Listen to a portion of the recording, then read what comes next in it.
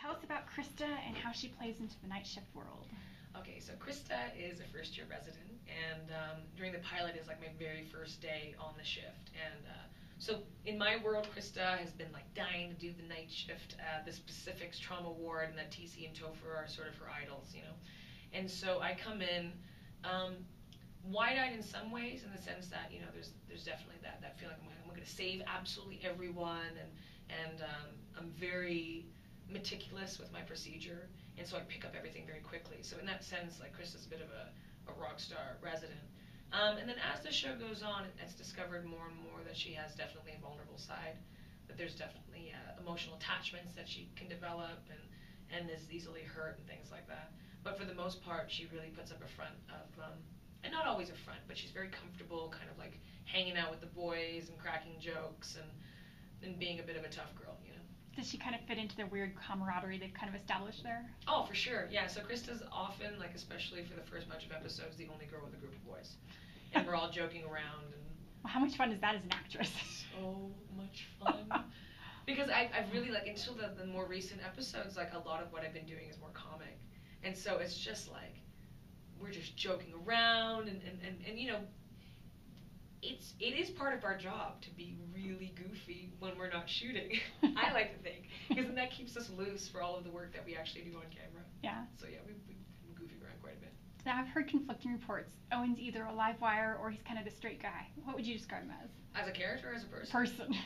as a person, well, he's like the rest of us. We're all, uh, I think, we're, we're a good group together. There was actually one day where we sat down and, and read a list of what true characteristics of an introvert are, which is definitely the ability. But it's it's um well the the main characteristic that we all really related to was the the need for genuine communication and authentic communication. So there's very little phoniness in our group. And there is no human being that can spend 17 hours a day with a group of people and not go through periods of withdrawal so, or needing to withdraw. And so all of us have that. And Eoin's definitely that person too, where he's very gregarious and very like you know, excitable and exciting, and then has moments where he really just needs to keep to himself, and that's all of us. And that's what's great is that we really understand that about each other, and we just all get along very, very well. There's no conflict that I know of. Can you guys switch it off on a dime just to go into those real serious scenes you guys do in the ER? Well, for myself personally, there's definitely emotional prep. When it's just procedural specifically, then for me, I, I have a zone of hyper focus that I kind of click into. I don't need to prep that much for that. But specifically emotional scenes, I think all of us go through our own process of how to find that place. Yeah, just because now I've talked to a bunch of you and you all seem a little bit happy and excitable. I'm like, how do you turn that down? Yeah, we don't. We just like, if anything, it escalates when we're around each other. We just get like, you know, some goofy stuff that happens. Yeah. That's cool. Because again, it's a it's a fairly serious show for the most part. I mean, even with the moments of levity in there. Yeah, it is. Well, I mean, that's the thing is that I love about our show is that you can sit down and read a script and, and laugh out, laugh out loud, um, and then be crying the next minute. So as serious as the show is, there's a, I mean, the levity is, is uh, it strikes home. It's pure, pure levity when it comes to that point. What would you say would be like the typical or typifies the perfect Krista scene? That we've actually done? Yeah. Wow. That's all just a blur. Sorry, I have a really big scene coming up today, so I'm like, I have to put myself somewhere else right now. Give me a second. Perfect Krista scene. Well, I mean, not necessarily my absolutely favorite scene, but I have a lot of fun, which is that someone pulls a prank on me. And I go through a moment of embarrassment, but I don't hesitate to immediately kind of roll with the punch.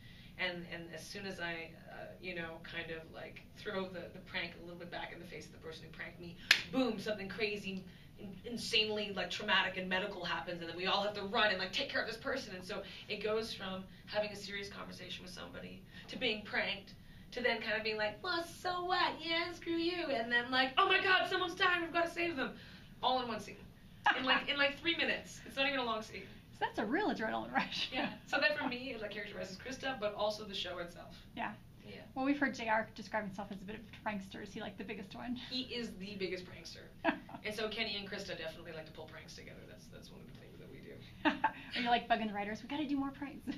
no, we don't even have to. They, they just give it to us. It doesn't doesn't require much prodding for that. Did you see that when you were reading the first script? Did you think, oh, my character's going to have this real strong funny side? You know, it didn't really occur to me. I, I just sort of, uh, I sort of rolled with it. It all happened so fast. I don't know if you heard about how quickly the show was cast. They, I mean, the, the showrunners are really incredible people who've been in the business for a long time and who are really just good human beings in general and having, I mean, what we all figured out when they cast this was like they basically hired a bunch of people who could become best friends. I don't know how they did it, but they, it's like they selected, like this person would be your best friend, Jeananne, and this person could be your best friend. I think we should all put you guys together. And so that, you know, um, I totally lost the question, what you were asking. it's okay. They, they were kind of working off a wish list, it looked like, because when I looked down the list of people starring on the show, I was like, oh my gosh, you just kind of cherry picked out these actors off other shows. it all worked out. There's no, there's no major egos. There's no, uh, no, nobody who's who's needing anything other than genuine like human interaction and good creative stuff to put themselves in. Yeah. You know? Yeah. What do you think the audience is going to fall in love with? Um, I think just the fact that the whole gamut of emotions that you're all going to get put through.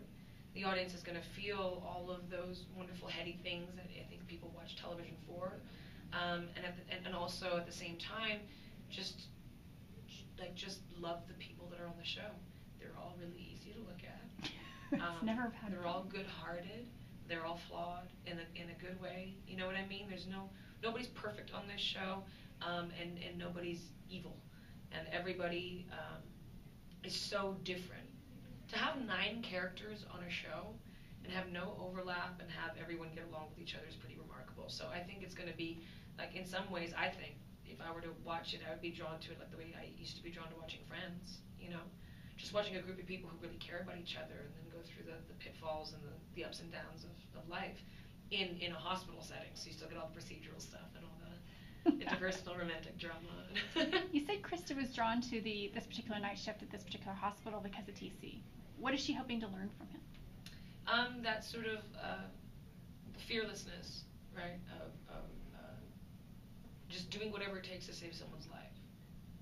And he he was kind of like the one person she's just picked out and said that's the guy. And Topher. For And me, Topher. I very much picked Topher. You know, TC's a bit more hot-headed. Like TC and Topher are an incredible odd couple.